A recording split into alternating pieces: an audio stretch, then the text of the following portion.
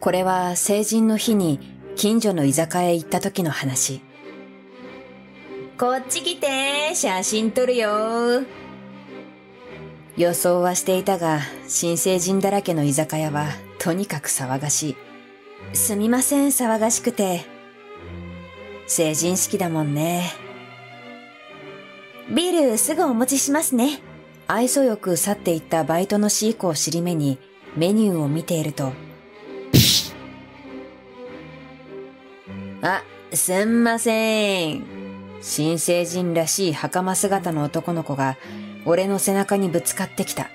今入ってきたばかりで、まだ酔ってるわけではない。成人式杯というやつだろう。謝ってんだから怒んなよ、おっさん。百歩譲って騒ぐのは見逃そう。ただ、他人に絡むのはダメだ。注意してやろうと口を開きかけたとき、ビールお持ちしました。あ、A 君、B 君。おう、新成人様が来てやったぞ。会話を聞いていると、どうやらドキュン二人組はここの厨房バイトらしい。今日の料理ダメだな。まず。これないわ。おいおい、俺のお通し。ビールと一緒に出された俺のお通しを勝手に食べ始める A と B。ひどすぎる。ちょっと、迷惑だから早く席に座ってくださいよ。俺らもお客様ですけど、こっちは成人式で気分盛り上がってんの。しらけさせんな。空気読め。とりあえず、今日の料理人呼んでもらおうか。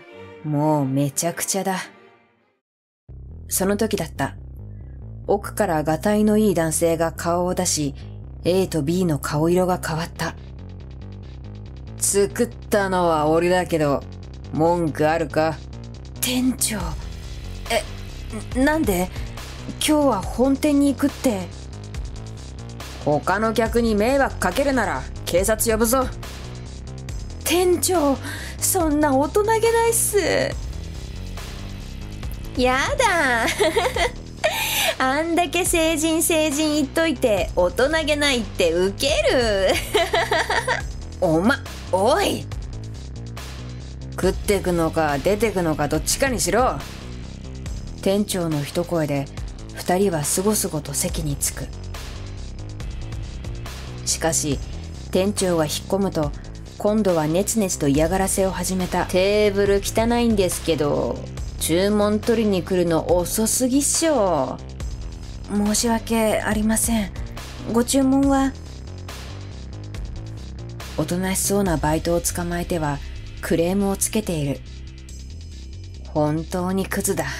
ビール二つって言ったじゃん。聞いてねえの？シーコがビールを運んできたのは10分後。お待たせしました。おっせえよ。ビールなんて入れるだけだろうが。甘っ悪態をつきながらひったくるようにビールを一口飲んだ A が吹き出した。ビールじゃねえじゃんビールですよ。お前ふざけんなよ。A 君も B 君も誕生日3月でしょ？まだ19じゃん。お酒は20歳になってからです。でも、成人式で盛り上がってるから空気読んで特別に子供ビールをご用意しました。マジで？あんだけ騒いどいてまさかの未成年。ウケる。子供ビール。顔を引きつらせる A と B。言い返せないところを見ると本当に19なんだろう。二人は真っ赤な顔で大ジョッキの子供ビールを置いたまま速攻店を出て行ってしまった。もう、意外と高かったのに。天然最強。